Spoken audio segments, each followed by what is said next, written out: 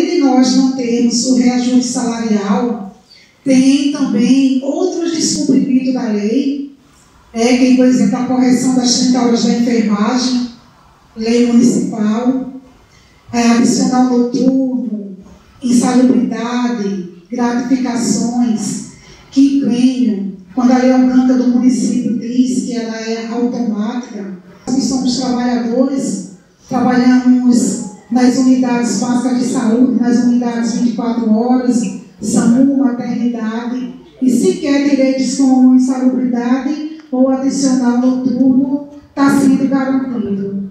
O ponto eletrônico quebra e é o servidor que tem que ter internet quando não consegue sequer pagar as contas, tem que justificar na internet, senão tem falta.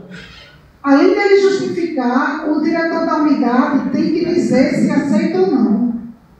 Esta semana, uma servidora, e ela está aqui, ela deu seu expediente na unidade, saiu às 12h30, esqueceu de bater o ponto, justificou colocando na internet que tinha esquecido de bater o ponto, simplesmente a diretora disse que não aceitava essa justificativa. É falta.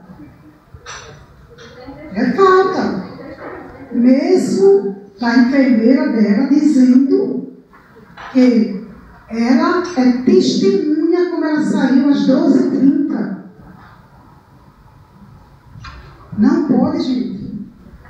Como é que o trabalhador dá seu expediente, esquece de bater o ponto e não pode, justifica. A direção da sua unidade diz que recebeu orientação da secretaria. Não pode justificar. Como é que o ponto eletrônico quebra?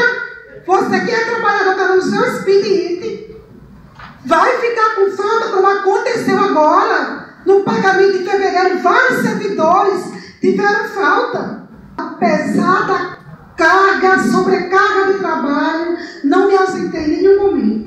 E veio falta.